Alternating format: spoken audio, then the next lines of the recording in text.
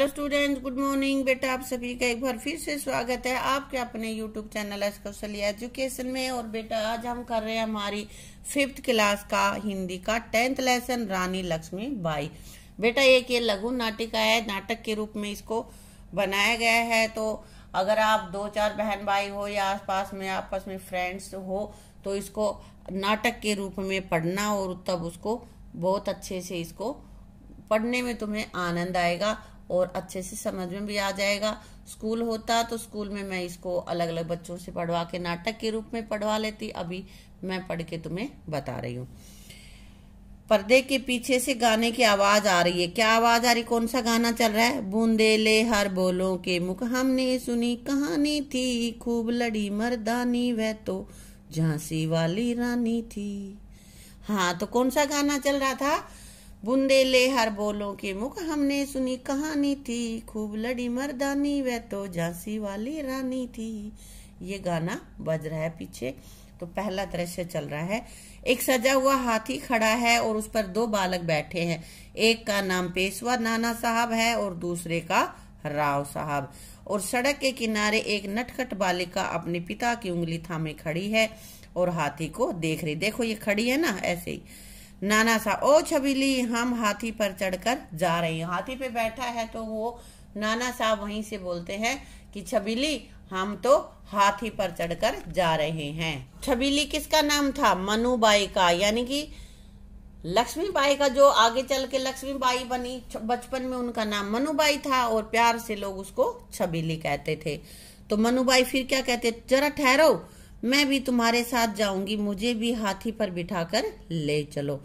नाना साहब कर, हम तुम्हें साथ नहीं ले जाएँगे। मनुबाई फिर क्या कहती है? तुम साथ नहीं ले जाओगे तो मैं दूसरे हाथी पर चढ़कर आ जाऊँगा। आ जाऊँगी। नाना साहब नाना साहब कह रहे हैं, आ जाना। हाथी झूमता हुआ आगे चला जाता, वो बैठा हाथी पे और वो कहता, ठीक है, तू पीछे आ जाइयो। और वो हाथी आगे चला जाता है। तो मनुबाई पिताजी से हम भी हाथी पर चढ़ेंगे। मोरोपंत कहते हैं, मोरोपंत कौन है? ये मनु के पिताजी हैं। बेटी मनु, हमारे पास हाथी कहाँ है? मनुबाई, नहीं नहीं, मुझे ये कुछ नहीं सुनना, बस हमें भी हाथी पर चढ़ाओ। और बच्चे जैसे जिद करते हैं, मचलते हैं ना, ऐसे वो भी जिद कर रही है, मचल रही है, मुझे हाथी पर बैठना है। तो मोरोपंत क्या कहते हैं उनसे? मनु हमारे भाग्य में हाथी कहाँ जिद न कर। वो कहती है भाई वो तो राजे हैं, उनको, उनके पास हाथी है, लेकिन हमारे पास थोड़े ही हैं वो हाथी तो तुम्हारे भाग्य में हाथी नहीं है। अब मनुबाई रोब से कहती है, आपको क्या मालूम, मेरे भाग्य में तो दस दस हाथियों की सवारी लिखी है। वो कहते हैं कि एक नहीं दस दस हाथी हैं मेरे भाग्य में।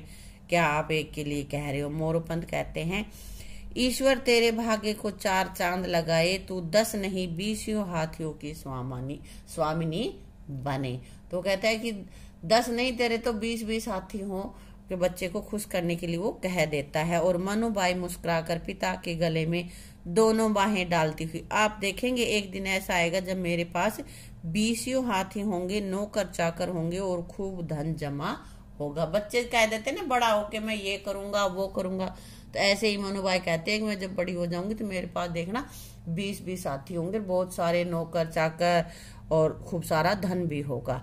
मोरोपंत अब बहुत बातें मत बना, घर चले। अब बच्चे ज़्यादा बोलने लग जाते हैं तो कह देते ठीक है ठीक है, अब चल तू।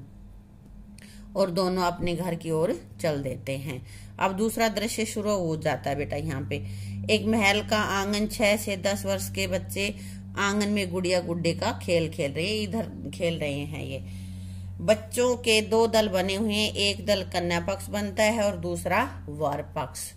शादी कर रहे हैं, गुड्डे गुड़ियों गुड्डे गुड़ियों की विवाह जो करना है, वहीं पास से मनुबाई भी जा रही है। कुछ बच्चे खेल खेल रहे गुड्डे गुड़ियों का, और वहीं से मनुबाई भी निकल रही है जा रही है वो। तो चंपा कहती है उसे, मनु, इधर आना। तो वो मनु को बुला रही है कि इधर आओ। लेकिन मनुबाई क्या कहती कहो, क्या कहना चाहती हो? अब वो कह, मोनू पूछ रही बोलो, क्या काम है? चंपा, हमें गुड्डे गुड़ियों का, हम गुड्डे गुड़ियों का विवाह करेंगे। बाजे बजेंगे, प्रीति भोज होगा। बताओ, तुम किस ओर शामिल होना चाहोगी? भाई, तुम वर पक्ष में होना चाहोगी या वधु पक्ष में? मनुबाई कहते, मैं किसी और भी शामिल नहीं होंगी। कि मैं तो किसी भी पक्ष पे शामिल नहीं होंगी, मुझे कहीं और जाना है। तो वहाँ पे चंपा पूछ लेती कहाँ जाओगी? अब मनुबाई कहती है तुम देख नहीं रही मेरे हाथ में तलवार? है देखो मनु तलवार लिए खड़ी है है ना? मुझे आ, मैं आजकल नाना साहब के साथ तलवार चलाना सीख रही हूँ तलवार चलाना सीख रही है। चंपा उससे कहती है अरे लड़की होकर तुम यह क्या कर रही हो? भाई तू लड़की है गुड्डे गुड़ियों का ब्याह कर घर किस तरह से बसाया जाता है ये सीख। तू तलवार चलाना क्यों सीख रही है? अब मनुबाई उससे कहती है, ओ भोली चंपा, तुझे क्या मालूम कि पुरुषों की तरह स्त्रियों को भी स्त्रियों से देश की रक्षा करनी सीखनी चाहिए? कि ये देश की रक्षा करना सिर्फ़ पुरुषों का ही काम नहीं है, हम स्त्रियों को भी करना चाहिए। इसलिए मैं अस्त्र शस्त्र चलाना सीख रही हूँ। इसीलिए मैं हथियार चलाना सीख रही हूँ कि मैं भी आगे चल के देश की रक्षा करूँगी, ठीक है? सुंदर खड़ी है वो जो गुड्डे गुड़ियों का ब्याह कर रहे हैं, उन लड़कियों में, वो कह रही है तो क्या तुम शत्रु के साथ लड़ोगी? अमानु भाई कहते, लड़ूँगी ही नहीं, उसे शत्रुता रख करने का मज़ा भी चखा दूँगी। देखना, एक दिन सारे शत्रु सिर पर पैर रखकर भाग जाएँगे। सिर पर पैर रख के भागना मतलब बहुत तेज़ी से भाग जाना की डर के भाग जाएँगे। सुंदर कहती, अरे, तू तो बड़ी बहादुरी की बातें करती है। अब मनुबाई कहती है, क्या तूने मुझे यू ही समझ रखा है? मैं तो हूँ ही बहादुर। अब बच्चों से कहते मैं तो हूँ ही ऐसी। कहते तू तो बड़ा सियाणा और तो और तो क्या? मैं तो हूँ समझदार। तो ऐसे ही वो मनु उससे कह रही है कि तुम मुझे यूँ ही समझ रही है? मैं तो बहुत बहादुर हूँ। मनुबाई उसके बाद चंपा कहती है, अब तुम जाओ, तुम्हारे हमारे रास्ते अलग अलग है। ठीक है, तू जा। अब हमें, तेरे मेरे रास्ते अलग है। क्यों है अलग बेटा? क्योंकि चंपा को तो गुड्डे गुड़ियों का ब्याह करना है और मनुबाई को अस्त्र शस्त्र सीखना है, वो तलवारबाजी सीख रही है। मनुबाई जा रही हूँ और कह देती हूँ कि यदि तुम भी अस्त्र शस्त्र चलाना सीख लोगी तो अच्छा रहेगा। कह रहे इन गुड्डे गुड़ियों के ब्याह में कुछ नहीं रखा है, अस्त्र शस्त्र चलाना सीख रहेगी तो अच्छा रहेगा। मनु तेज़ी से तलवार घुमाते हुए प्रसन्न मुद्रा में चले जाते खुश होते हुए प्रसन्न मुद्रा मतलब खुश होते हुए वहाँ से चली जाती अब तीसरा दृश्य फिर से उस पे नाटक पे आ गया है। आगे है, युद्ध का मैदान। अब युद्ध का मैदान तैयार हो गया है। एक और अंग्रेज़ लेफ्टिनेंट व सेना की टुकड़ी, दूसरी ओर लक्ष्मीबाई, नाना साहेब और कुछ अन्य योद्धा दिखाई दे रहे हैं। अब युद्ध हो रहा है बेटा। अब सूत्रधार वहाँ पे कहता है, हुई वीरता के वैभव के साथ सगाई, झांसी में ब्याह हुआ रानी बन आई लक्ष्मीबाई, झांसी में इनकी गाथा छोड़ चले हम, झांसी के मैदानों में जहाँ खड़ी है लक्ष्मीबाई, मर्द बनी मैदानों में। तो लक्ष्मीबाई ने बचपन में कहा था कि मेरे भाग्य में दस दस साथी रखे हैं तो इसी को आगे उसने पूरा करके ही दिखा दिया कि जब उसकी शादी झांसी के महाराज के साथ हो गई तो झांसी की रानी बन गई है और अब महाराज की मृत्यु के बाद उसको झांसी का शासन ही करना हो गया है। वो शासन कर रही है, झांसी पे वहाँ की रानी बन गई है और वो अब अंग्रेज़ों के साथ युद्ध कर रही है। लक्ष्मीबाई मर्द बनी मैदानों में कि उसको तलवारबाजी आती है, युद्ध करना आता है तो वो युद्ध करने के लिए मैदान में पुरुषों के साथ खड़ी है। लक्ष्मीबाई लक्ष्मीबाई कहते हैं, नाना साहब, आप सेना को लेकर बाई ओर से शत्रुओं पर आक्रमण कीजिए। बता रही है नाना साहब को आप बाई ओर से शत्रुओं को घेरिए। नाना साहब, तुम कहाँ रहोगी? लक्ष्मीबाई आप मेरी चिंता मत करो। जाओ, शत्रु पर टूट पड़ो। अब नाना साहब कहते हैं, आज शत्रु सावधान है। तुम भी सजग रहना, मैं चलता हूँ। और सभी प्रस्थान कर जाते हैं। प्रस्थान मतलब चले जाते हैं। फिर लक्ष्मीबाई, राव साहब, आप दाई ओर से शत्रुओं को घेर लो। किसी शत्रु को जीवित मत छोड़ना। और रणनीति उसने बना रखी है। उसके तहत उनको बता रही है कि वो उधर से युद्ध करेगा, वो उधर से युद्ध करेगा। ठीक है? राव साहब, आज ऐसा ही होगा। आप चिंता न करें महारानी।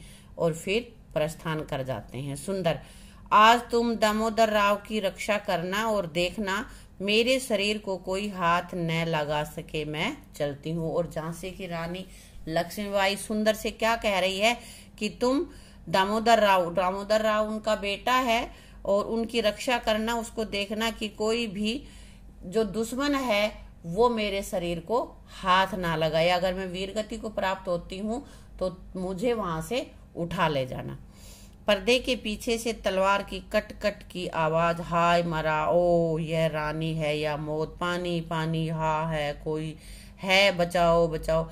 मतलब जैसे युद्ध में जो आवाज़ें होती हैं, कोई कह रहा है, हाय, कोई कहता है, मरा, कोई कह रहा है, बचाओ। मतलब इस तरह की आवाज़ें युद्ध जैसी आ रही हैं पीछे से।